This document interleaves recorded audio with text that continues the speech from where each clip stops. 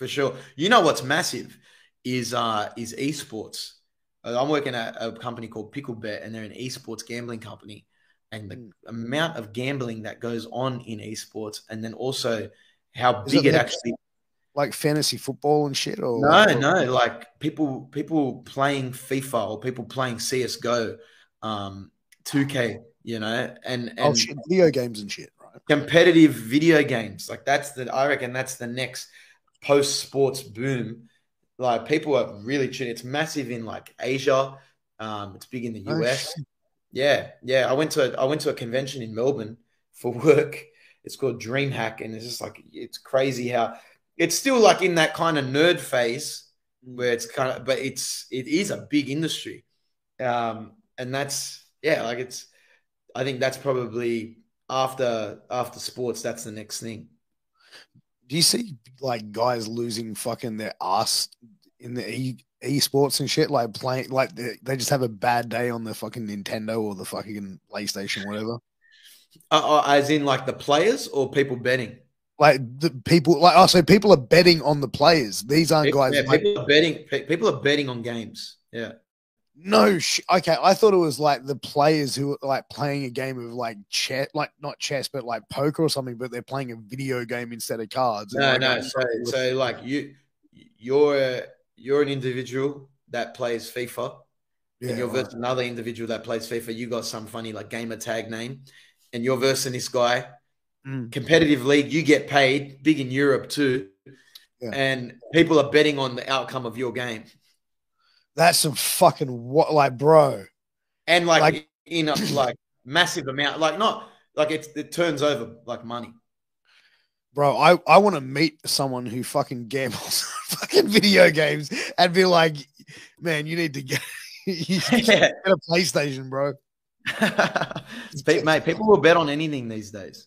That's some fucking wild shit, man. I like I but that's the thing, like the gambling stuff, like I, I never understood how people can get addicted to gambling. I'm not sort of bagging it or anything, but like mm and I, I, go into like a pokey, pokies or whatever it is, put 50 bucks mm. in. If I lose, I'm like, oh, cool. I've lost 50 bucks, whatever. No harm, no foul. If I win, I go, great, whatever. But like, you know, I mean, I don't understand the appeal, how people can get hooked on something where it's like, uh, yeah, I agree with you. It's like there's a point where it goes from like being entertainment to probably being a problem. I've worked for two betting companies. Um, just in like marketing and just yeah, maybe uh, like I had one entry level role where I was taking bets bets at um at a race course, and you you see all different walks of life, but it's definitely it's like any it's like anything like alcohol. It's it does have addictive tendencies. Like you get addicted to the feeling of winning, and you're talking to someone that's a, like a big not not a big gambler, but that's you know my biggest bet was. uh betting on the uh, US election one year, and I thought it was a guarantee, like I'm cleaning up here. Yeah. And then Donald Trump lost. and then how much did you lay down on the bet? I had about 30 grand on Donald on the Don. I thought there was no way that that Joe Biden was losing. Yeah, yeah. Well, it was it was like it was a build up over like the year. It was like a contest between not contest, but like all my mates and um, a few other people were like, yeah, there's no chance that this bloke's winning. Like trumped two bucks, and he kept blowing out further and further. I was like, this is just like an investment, you know. And it just kind of got out of hand. But like, it's just easy. It, it, it's easy. I, I like. I, I think it's easy for people to get addicted to that feeling of winning, and your bet sizes slowly start to increase and increase. But yeah, no, it's um, it's definitely not the uh the most moral industry. Jeez, I'm still sitting here just going 30 grand on Donald Trump, bro. Fuck. Stupid. Very stupid. If I have my time again, uh, uh, there was a point where he was winning and I could have hedged my bet. And I thought like I was, I was like, I don't know, hedge my bet. Like it's, I've won. You know, it was like, he was like, he came into like a dollar 10 and I was like, one of my, my uncle was there and, and a mate had called me. He's like, you probably want to hedge. I was like, bro, the thing's over. I I just go to sleep, wake up the next morning and oh, uh, he was he was losing. I was like, oh, gee.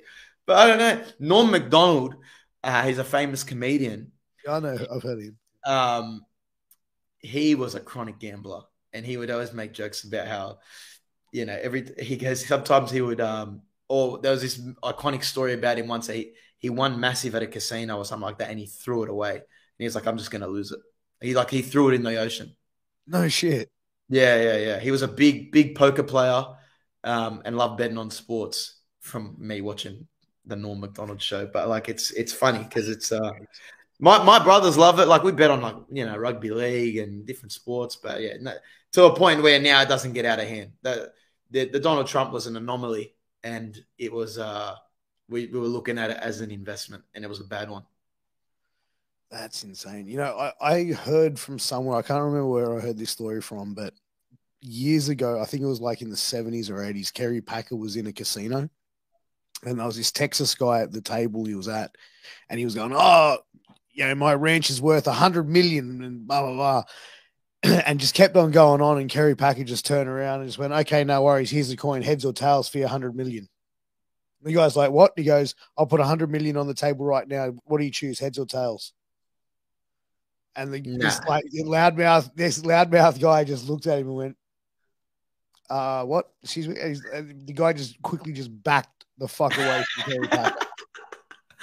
Mate, yeah, no, I, I don't know. There's something about gambling or uh, people that are ultra wealthy, like loaded, and yeah. like them being risk takers, and uh, and and fun, like funny, like crazy gambling stories. I don't know. I feel like that that that's a thing. Because I mean, if you get to that level of wealth, you got to be willing to like, roll the dice here and there.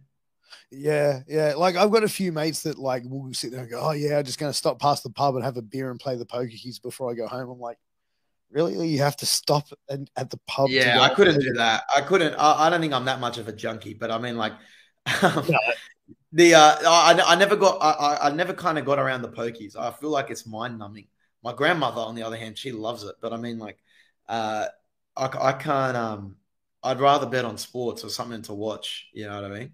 Yeah, like, uh, like I years ago when I used to be really into like UFC and stuff. Like I bet on like UFC fights and shit like that. And I actually was spewing because like you remember the fight Ronda Rousey got knocked the Lost? fuck out. Yeah, yeah, by Holly Holm. Yeah, yeah, by Holly Holm. I was gonna put money. I was uh, in line to put money for Holly Holm to win via knockout because it was just a ridiculous bet. And it was like in the I think it was in the first round as well as the second round. I like I picked the round and everything, and I was with my wife, and she was like, "Did you put the bet on?" I said, "Nah, it's probably better." You know, I was gonna put like fifty bucks down, some shit, and it was like paying like fuck. I think it was like a couple of grand, so it was something not thirty grand, but it was something decent in return. But I yeah, I missed that bet. My wife's like, never let me live that one down. Uh, you win some, you lose some, mate. You're telling me you've never you've never taken a bet because you can bet on wrestling. Sports better taking bets on wrestling now. It's big in the UK, US. You can bet. I know it's a fixed outcome. Yeah. But you know, you could you can kind of get a look. You don't even have to look at the dirt sheets anymore. You can see who's favorite to win the next Royal Rumble. I know, bro. I think that's next level of marks. like, uh, yeah, I've, I've seen the gambling on the wrestling and shit like that. And it's like, yeah, $13.10 for the Undertaker. yeah. Like, man, if I worked in WWE or knew someone, I'd be like, hey, man, who's going over in the match? Oh, like, yeah. But I think betting companies are they're, they're like not smart to it, but they would never take a massive bet on it. They would just limit they limit their liability, and they'd be like, yeah, they take like a you know maybe five hundred bucks max on it on you know the Rock to come back and win the Royal Rumble.